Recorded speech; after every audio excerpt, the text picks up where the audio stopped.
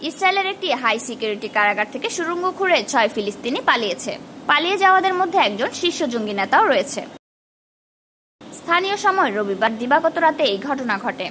সোমবার ইসরায়েলের কারা কর্তৃপক্ষ এই তথ্য জানিয়েছে। ইসরায়েলের কারা কর্তৃপক্ষ বলছে, ওই ছয় ফিলিস্তিনি গিলবোয়া কারাগারে ছিলেন। স্থানীয় সময় রবিবার ভোর ছয়টার দিকে তারা সুরঙ্গ খুঁড়ে কারাগার থেকে পালিয়ে যাওয়ার সময় সতর্কতা সংকেত বেজে ওঠে। এরপর বিষয়টি কর্তৃপক্ষের নজরে আসে।